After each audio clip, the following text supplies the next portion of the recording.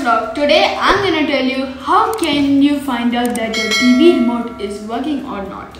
So first you need a mobile phone or any camera device.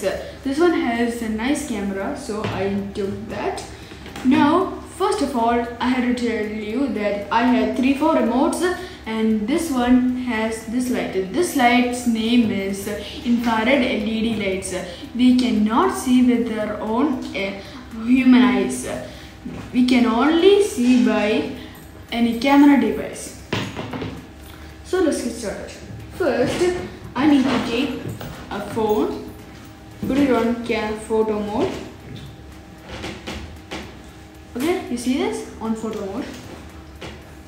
Now I'm going to take the infrared LED lights, this lights, and put look put it in right in the camera lens.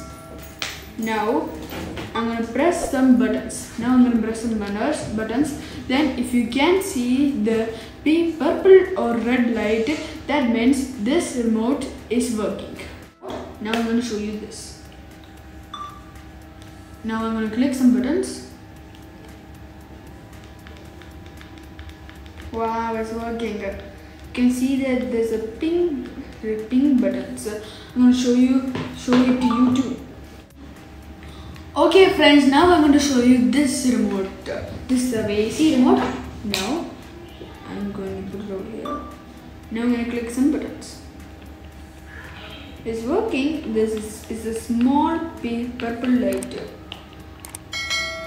Okay, I'm going to show you to you guys too. So how was it? It was so amazing, right? You, you can see that purple lights in the in the phone and it was so amazing, right? You can see that purple light. It looks like a laser beam. It's, uh, this is so cool. And also, please subscribe my channel, like it, share this video to your friends, and hit the bell near the subscribe button. So, bye bye.